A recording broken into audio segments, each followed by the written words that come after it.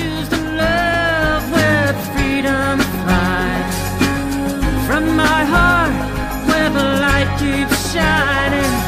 And I choose to feel the whole world crying for the strength that we can rise above. I choose love. I choose Hi. What did you want to talk about?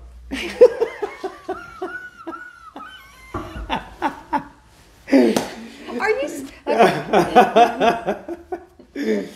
No, we just had a question posed to us that I think is very important. So we have Grace Healing. This is Anna Marie Hale, Hello. and I'm And Larry welcome. Reynolds. Yes. Um, We had a question posed that many people ask, and it is why did God let this happen? That's a very popular one and one that's asked a lot. Exactly. And in a nutshell, bottom line is God did not let it happen, even though God allowed for it to happen. It's the spiritual process that brings about anything less than pure, less than blessed, not seemingly of God. Yeshua described it when he said, Every single thing you see of corruption emerges first from the order of principalities, the spiritual realm. So anything of corruption that rises is not God. However, I will say that God does let it happen because our role here, most of us humans have forgotten. We are here to do exactly as Yeshua said and set the captives free. Most people don't understand what the captives are. No, they don't. The captives are not some vile, nasty, demonic beast with horns sticking out of its head and massive wings and all kinds of crazy stuff. It is the simple subtlety of the spirit of fear, the spirit of anxiety, the mm. spirit of confusion, the spirit of depression. These things are spiritual in nature. They are not God. What's happened is we humans have walked the planet ignorant of this so we think when a person is in depression and they move like a train toward that point of committing suicide, oh my God, how could God let this happen? Hmm. God didn't. It is we that are not seeking the attributes and nature of God, and instead of sitting there going, I've been feeling depressed, and gifting life to the spiritual captive that is known as the spirit of depression, we went headlong all the way to the depths of depression, which became the worst possible experience, which may have turned out to be suicide or um, gluttony or some manifestation of suffrage that we took into ourselves because we weren't listening to ourselves saying we're dealing with the spirit of depression. So the reality is, we knew this before we came here. We knew this with absolute clarity. And we knew the footsteps we would take and the spiritual grounds that we would walk. We just forgot what Yeshua said when he said, Set the captives free. And he also gave us the warning. We talked about this earlier. If you set free anything of a spirit nature or a demonic nature, you must welcome the presence of God within, or many of like kind will return. So, what does that mean? Let's go to vibrational understanding. People, a lot of people speak about vibrational awarenesses. What if a person has become accustomed to the spiritual vibration of depression? They loose and free the captive of depression in one moment, but they don't sit in the presence of God and recognize God's presence within that space.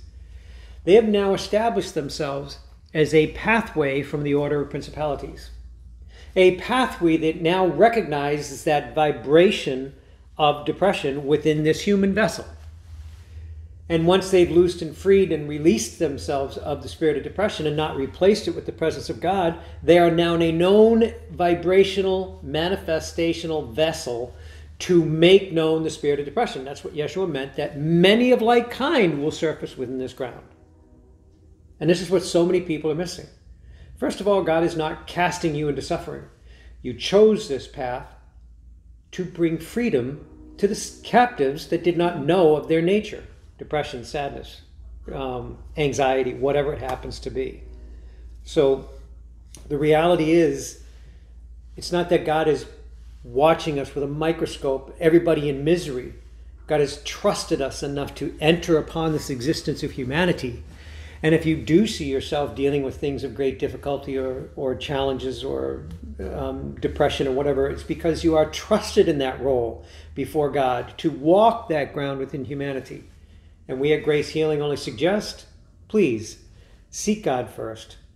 Something rises that does not fit an attribute of God, that is one of the captives that you have been charged by Yeshua to set free. Well, and also in the Word of God, in Scripture, talks about um, my people perish for lack of knowledge. Exactly.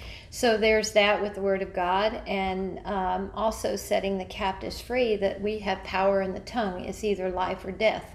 That's spoken in the Word of God too. So there's many, many things that uh, even those a Christian say these things. Why is God doing this to me? Mm-hmm. Why has this happened to me? Or non Christians, it doesn't matter.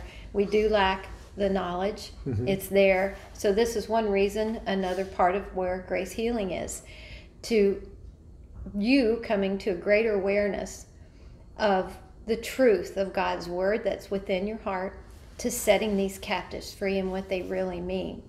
So, being enlightened and understanding, and when you see what Larry was sharing there, it's that simple.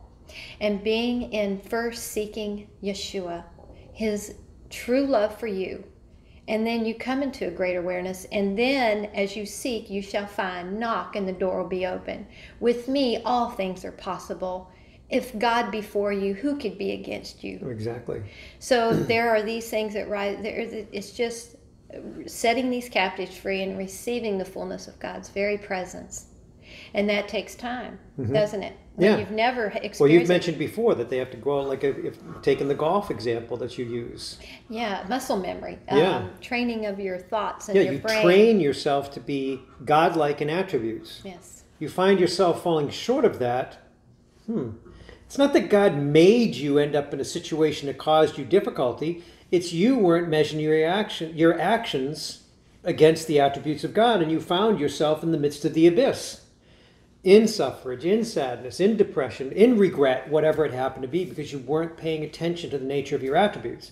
It's not just because you're saved, but you have to measure the nature of your actions in order to become more Christ-like, God-like, manifestation of God's holy principles and attributes in all that you do. Yes, and His true love.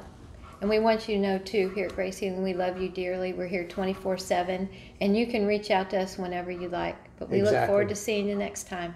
We Click on the you. link, say like and subscribe, and you'll find the numbers and all things within the website.